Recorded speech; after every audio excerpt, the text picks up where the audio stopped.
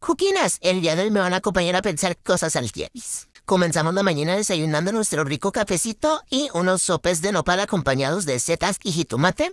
Aprovechando que iba de salida, me llevé unos volantitos de mi negocio para poder repartirlos. Aquí empecé caminando por un parquecito que la verdad es un súper atajo para llegar al mercado, pero ¿cuál es lo malo? Que hay muchos perritos porque la gente lleva ahí a pasear a los caninos. Solo que pues hashtag tengo traumas de infancia, entonces a mí me da un poquito de miedo. Aquí comenzamos ya viendo nuestro primer puesto de ropa. No soy tan fan de este puesto, así que vamos a adentrarnos hacia el mercado para ir en busca del otro puesto. Extraño mucho los mercados y tianguis de Cuautepec porque siento que son más grandes y que hay variedad de verduras, frutas y demás.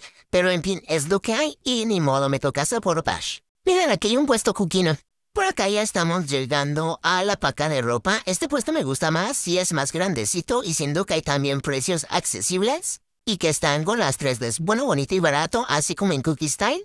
Y pues la verdad es que sí me hacía pensar cosas mientras buscaba las prendas, like si te gustaría ver qué compré.